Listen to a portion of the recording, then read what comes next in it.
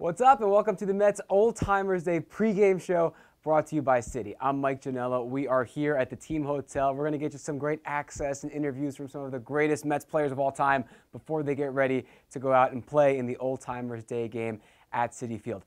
Joining me soon, the guys from the Mets Up podcast, too, Marc Luino and James Schiano. They're going to talk to a bunch of guys as well. No more waiting. Let's get to it. Enjoy the Mets Old Timers Day pregame show. Here we go.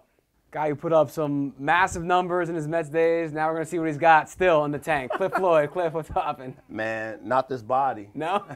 you look great, though. Hey, I feel good. I feel good, but you know, I was I was got some calls and and you hear people saying all the time like, "Hey, can you still hit?" And I have to remind people like, "I'm 50." Like I haven't hit a ball in 10 years, but um, it's gonna be fun to get out there, man, and see everybody. I saw Piazza, saw Johnny Franco, um, Mike Hampton. So guys that you you know you you um, played with against, uh, battled against. Um, has you know uh, every guy that you saw you see today, um, just bring back all the memories of playing.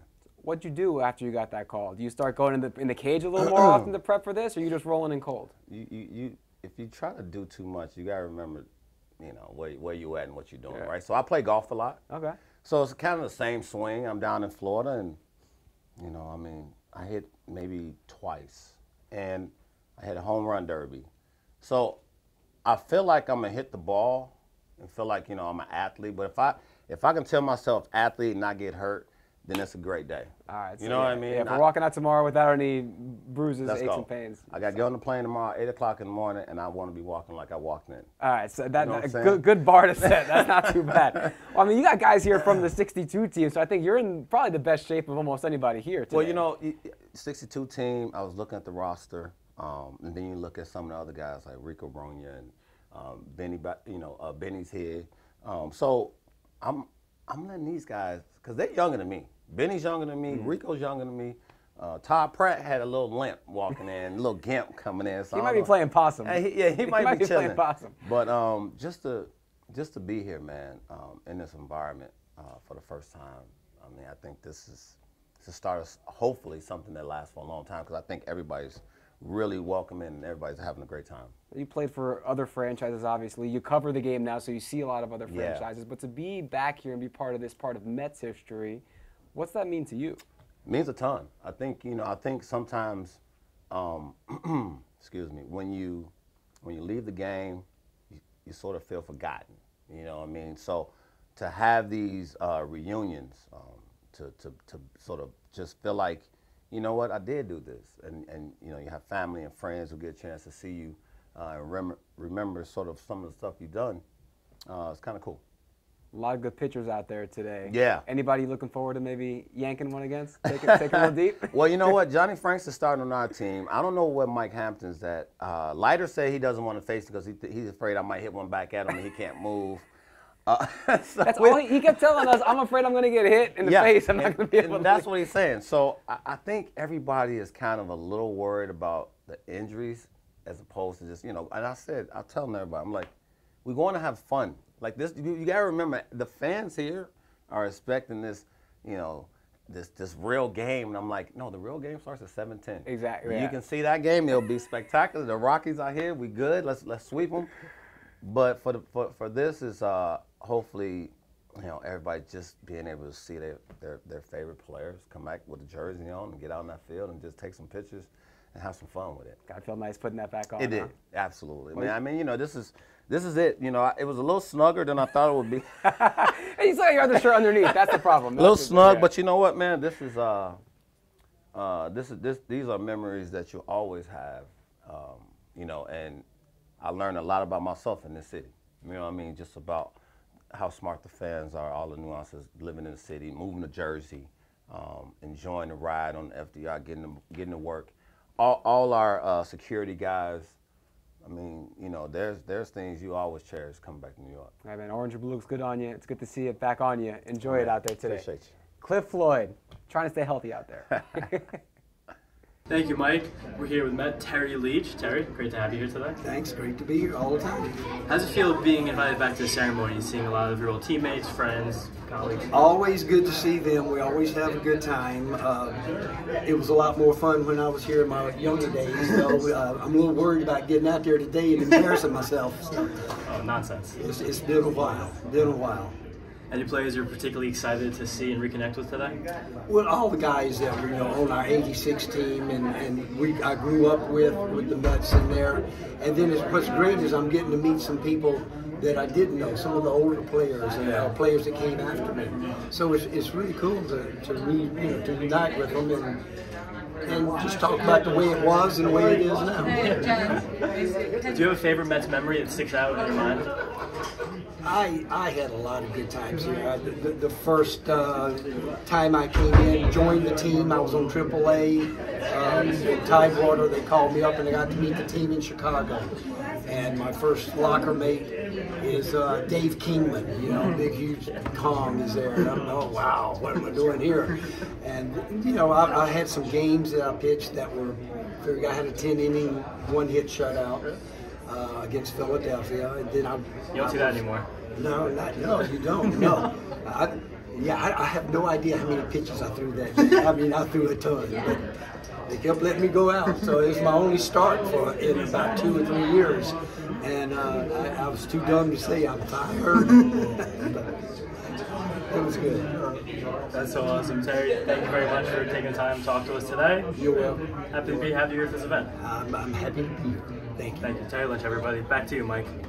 Appreciate it, guys. Here with one of the hardest throwers in Mets history. Actually, just telling me a story before we started recording how you once broke Doc Gooden's fingers playing catch. It's Billy Wagner. What's up? Hey, it's great. Thanks. Good to good to be here. What a great event. So you're, it's no bad blood between you and Doc if you see each other, guys. God, today, no, right? no, no, no. What what a great guy. I, you know, a historian of baseball, and uh, you know, I was a young rookie playing, and uh, Doc was uh, making his comeback, and uh, we're, we're we're playing catch. We're on the backfield playing catch, and I, I didn't have much governor on how to play catch, and so you know, I'm I'm throwing normal, and I end up. Breaking his, one of his fingers, and I've got a picture to this day with him wrapped up and taking a picture. So this is pretty cool. Oh, those are the stories you love hearing on a day like today where you bring everybody back. So a story like that makes me think, makes me wonder, because everyone knows you brought the heat when you were in your playing days. What are you ticking on the radar gun these days? Oh, I don't know. I, I'm pretty good from 45 feet because I'm now I'm a high school coach. So uh, I don't know. I'm just hoping that I, nothing gets hurt. That's all I'm going for right here to have fun and and and uh, really just be around the guys. So I'm just really hoping not to get hurt. Well, the pitching side, I think, is the most interesting to me because you're up there as a hitter. Everyone does, you know, beer league softball. You can swing a bat, but the pitching, how from one to a hundred, how much effort are you going to be putting in out there? I don't know. It depends on how much effort everybody else is. Cause you're going to kind of gauge. You're going to kind of gauge that right there, and so you know you don't want to go up there and you you don't want to be that guy. You, you're really running this, and this is you know this event's the first time in like since '94 that it's been. So you don't want to go out there and they're going. I don't want that guy back. That guy. That guy's no fun. You know he takes it way too serious. So. You know, I want it to be lighthearted and have fun. I want the fans to enjoy what they're seeing. I mean, they need to, to enjoy that. And I'm excited for that, that moment. So you've been talking to a lot of guys since you got here. You know some of your teammates. Who do you think is going to be taking it the most competitive? Well, I t- you know, I'd have a hard time not seeing Todd Pratt take it super serious. I love Todd. He's one of the great. I played with him in Philly. I played him here, and I just, you know, I just think he's such a great guy, and he just loves the game and his teammates. And so he, he was uh, really just a. I think he, he, he will enjoy. He don't. Nobody wants to get embarrassed, right? Nobody wants to. I think we're all going to be like, hey, you know, you know, we're not going to be worried about anything. Guy hits a home run off of you or, or something like that. I think it's going to be fun and, and lighthearted, but you know, I think it'll be funny because it's been a long time since any of us have done something like this. When was the last time you threw something competitive? Oh, well, it, it's been many a year, but uh, in high school, you know, I would still put my, my nails on and go out and throw live BP live, and so, uh, but it's been a while. Uh, you know, you could do that, and then uh, you had weeks to recoup. But now, now I'm like, oh, I just don't want to get hurt because somebody's YouTubing. My my kids and my family are like, hope somebody's videoing it. I hope it's going to be on TV so so I can see this. And I'm like, gosh, I don't know how much I want you to see because I, I used to be good. now you're going, oh, that, look at that old guy. Well, I think hopefully whenever this is live streaming, it'll be the suggested video afterward. It'll be, you know, your playing day highlights when you can see your back touching the triple digits. Absolutely. Yeah, let's go back to those days.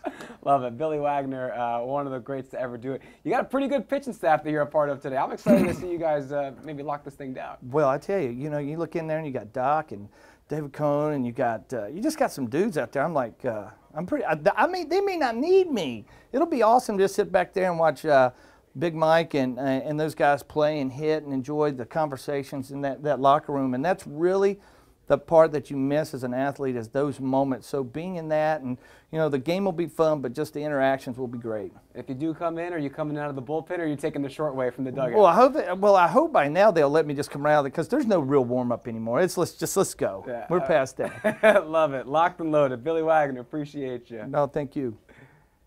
Thanks, Mike. All right, we're here with former Mets pitcher Dennis Cook. Dennis, how you feeling? What have you been up to? Uh, I feel great and uh, been up to just taking care of kids, uh, doing a little coaching up in Cape Cod League in the summer, and uh, also a little bit of coaching over in Europe. Nice. Yeah, You excited to be back today? very excited. It's a great deal. Uh, really appreciate the Mets including us. Expect to see you back on the mound?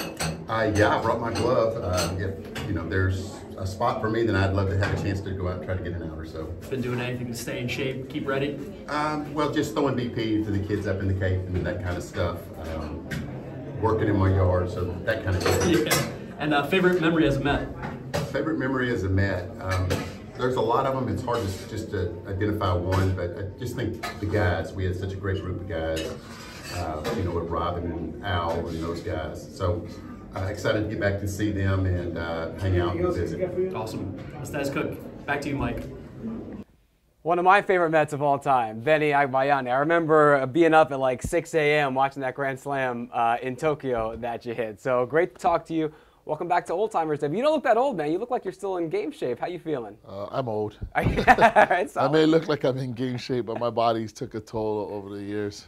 Well, you're back now. What What are you expecting out of the day today? Once you hit that field, how's it gonna go? Um, gonna be pretty excited, but uh, other than that, just hopefully I'll be walking normally after the game. but my body aches, so I'll be all right. Yeah. When is this gonna hurt the most? Is it tomorrow morning? Is it a couple days later? What are you thinking? Uh, probably during the game. Not wasting any time, right? no.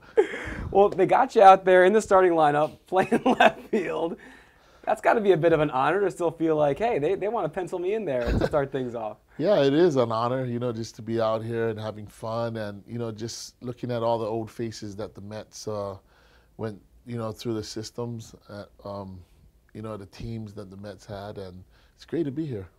Who are you most excited to see that you didn't play with that wasn't part of your generation? Because they got Mets from back to 62. So who are you pumped to maybe meet for the first time? Uh, it was awesome. I met Frank Thomas yesterday, nice. and it was, you know, an honor to meet him. You know, because I know, you know, he was a big time player here in Mets uh, Mets history, and I was just was telling him if he was playing now, I mean, he would have been a millionaire. I think a lot of guys could say that. Yeah. Yeah, with the way the game has changed so much. yes.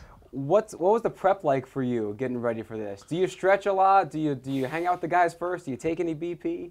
Um, probably gonna just shoot the breeze and just hang out with everybody, and you know, just enjoy this moment. It's a great honor, a great moment to be around all these guys and to, uh, you know, see all the fans again, and you know, just just wonderful to be out here. That's got to be something you're looking forward to. That ovation, I'm sure, hearing those you know 40,000 plus. Yeah, hopefully I get a yeah, uh, a yeah or a boo, you know, and then I'd be, oh, I'm back to normal here in New York. It's not going to be a boo. I got a pretty good feeling. Nobody's going to be booing Benny Agbayani. Well, Benny, appreciate it. Make sure you ice down afterward, and uh, good luck out there. Is it ice down before or ice down after? Maybe before, during, and after. I don't know. I'm getting That sounds too. better. Yeah, there we go. Enjoy it. Back to the Mets up, guys. See who they got next. Thank you, Mike. Here with Doug Sisk, member of 1986 Mets. Doug, very glad to have you here today. Thanks, you guys. Thank you. What sticks out as your favorite moment from that 1986 season and run? Probably in the clubhouse in spring training. You're a big personality in that clubhouse, right? Yeah, and Davey, yeah, Davey's pretty much let everybody know that we're going to win. Yeah. And I mean, it was like, whoa, you know, don't put pressure on all of us. But yeah, and then it all comes true at the end. It's kind of really, kind of, if you look back at it, I would say probably a majority of the stuff that went on, uh, you don't really, you're so caught up in playing the game that you don't look at 30 or 40 years later on how important everything was. You guys dissect the heck out of us, man. We are, I get more stuff. But there isn't a day that goes by where somebody doesn't ask me a question Yeah. About something. Especially the documentary just came out too. The ESPN I saw it. Yeah, actually, you know, I, I thought they did a pretty good job on that. There's some stuff that's, you know, it's TV. Absolutely. So they gotta, they gotta do something, but pretty, pretty close. Which of your teammates that were here today are you most excited to reconnect with? God, I haven't seen Jesse Orosco in a long time. It's been a long time. Um, I love seeing Terry Leach. Uh, I saw John Stearns, which I didn't get to play with very much. Um, Bad dude. Saw him in his prime. Oh, Yeah. geez, a great player. Um, you know, just just a bunch of everybody. I don't even know who all is going to be here. I did see a roster, so that doesn't mean it hasn't changed. Uh, you know, I'd love to see Sid. Yeah. Um, you know, a lot of those guys. Everyone. Last quick question we're going to ask you. We know you sold wine for a while after your retirement, so I'm going to paint you a picture and I want you to pick me the wine. Oh my God. You have a nice New York strip steak, medium rare, Uh, garlic mashed potatoes, a couple pieces of asparagus. Which wine are you providing? God, we're gonna go with a Malbec. Come Yeah. on, nice Dago Red Yeah. from Argentina. You bet. Yeah. And they got a nice one here at the hotel I saw, the room. Yeah, very nice. A little overpriced, but and here's the thing, guys, in the restaurants, always remember the glass of wine pays for the for the bottle. The mm. 300% is where they break it down. So if that glass of wine's 10 bucks, you can bet that that bottle's $30. That's how they do it. So when you go in a restaurant, go, my good friend Doug, you mean to tell me that bottle's only six bucks and you're charging me $13 for a glass of wine? No, that's not going to happen. So, but yeah, that's why you see a lot of restaurants with no wines that you know about and you see in the stores because they don't want to be held accountable.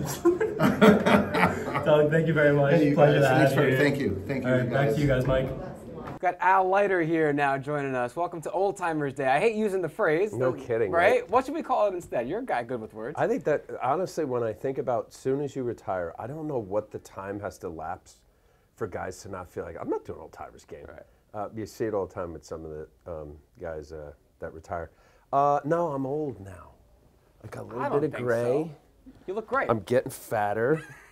um, How's the arm? I'm That's losing my hair. That's the important thing. How's the arm? Does the arm still work? my arm's okay. All right, that's good. That's but all don't ask me about my my knee. Three surgeries, Jeez. hip. Other than that, life's Doing great. Yeah, no, feeling no, good. No, it's good. It's good, man. I'm blessed. I'm lucky. I'm grateful. Um, this is awesome. I'm so happy um, that Steve Cohen and all the decision makers decided to do this. I always thought that about. I think that about every team. Yeah. You know, we retire, but we don't die, not yet.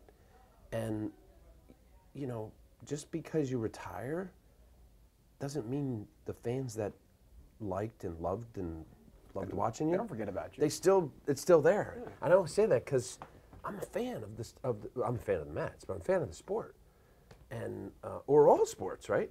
Whatever your your time period. What was your time period? Who were your guys? You were my guys. I was right in high school. That 99-2000 team. I was So- up so every night, go. up every morning with you guys. And I and I say that to people who are like running, uh, you know, licensing and things in Major League Baseball about, uh, you know, about just when you guy when a guy retires, pick your guy, David Wright, right? He was adored. Like, okay, he's retired, but people still love David Wright, you know, and on and on, Mike Piazza and the rest of it. So, so to have events like this, one, it's awesome to see people I haven't seen in a long time. The reunion factor, and then I put my my my fan head on with people love this stuff. Like I, when I'm when I walk around and I see guys that I, oh my God, there's Felix Millan and um, Art Shamsky, oh my God, Cleon Jones. Yeah, so who, are, who are you pumped? Who are your guys that you love seeing? well, I just mentioned three of them. So I'm I'm a little too young. I I marginally remember the 1969 World Series, and I only remember it because my dad was a huge Mets fan.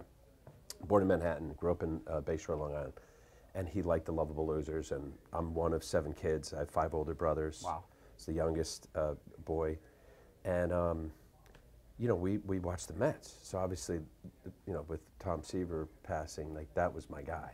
And then I got a chance to have him around, you know, here with the seven years with the Mets and him doing the broadcast and all that. That was amazing.